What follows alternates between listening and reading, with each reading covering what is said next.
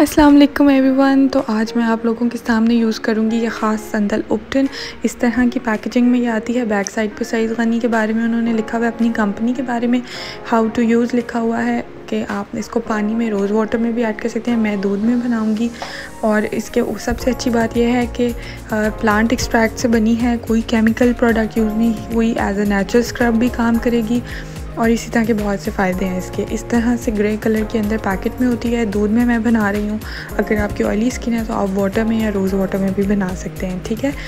इस तरह से ये पैकेट है, इसको हम खोलेंगे। थोड़ा सा मैंने दूध लिया है, जित जित, जितना आपको चाहिए, आप उस हिसाब से क्वांटिटी में बना लें। मैंने सिर्फ़ मुँह पे लगानी थी सो इसलिए मैंने इतनी ही बनाई है। इसको अच्छे से मिक्स करें, एक फ़ाइन पेस्ट बन जाएगा, ठीक है? बहुत पतला भी नहीं होना चाहिए और बहुत गाढ़ा भी नहीं होना चाहिए, दरमियाना सा कंसिस्टेंसी में हो।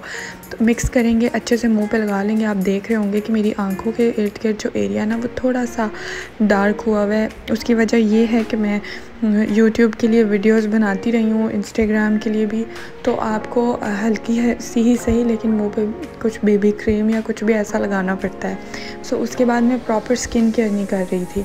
उसकी वजह से मेरी आँखों के इर्द गिर्द का जो एरिया ना स्पेशली ये थोड़ा सा डार्क हो गया यहाँ पे मैं आप लोगों को वो जैसे मेकअप आर्टिस्ट करीब आके अपना मेकअप दिखाते हैं ना कि कितना फ़ाइन हुआ है सो मैं आपको उपटन दिखा रही थी कि कैसे मेरे मुँह पे लगी हुई है। सो अब हम इसको मुँह पे लगाएँगे और टाइम इस पर लिखा हुआ था कि फ़ाइव टू टेन मिनट्स के लिए आपने लगाना है इसको और अच्छे से मसाज करना है लगा के, ठीक है?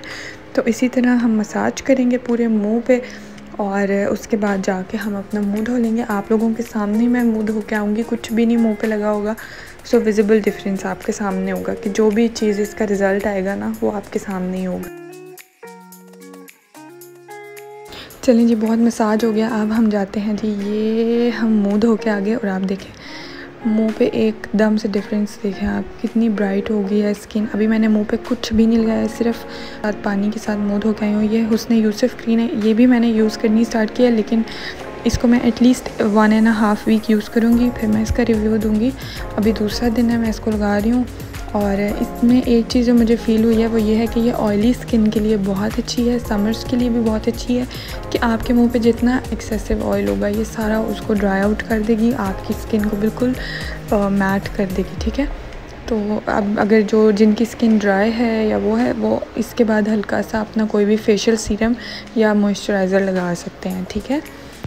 एक और चीज़ इस क्रीम में ये भी है कि इसमें कोई भी टेंट वगैरह नहीं है। टेंट से मुराद ये है कि जैसे क्रीम्स में होता है ना वाइटिंग वाइटनिंग फार्मूला या इस तरह की चीज़ें ऐसा कुछ नहीं है। ये सारी आपकी स्किन में एब्जॉर्ब हो जाएगी। मेरी तरफ़ से ये ऑप्शन रिकमेंडेड है। आप लोग यूज़ कीजिए और मेरे साथ ज़रूर शेयर कीजिएगा अपना रिव्यू सो आई होप आपको पसंद आई होगी आज की वीडियो अपना बहुत ख्याल रखिएगा। फिर मुलाकात होगी किसी नए वीडियो में। तब तक के लिए अल्लाह हाफिज़।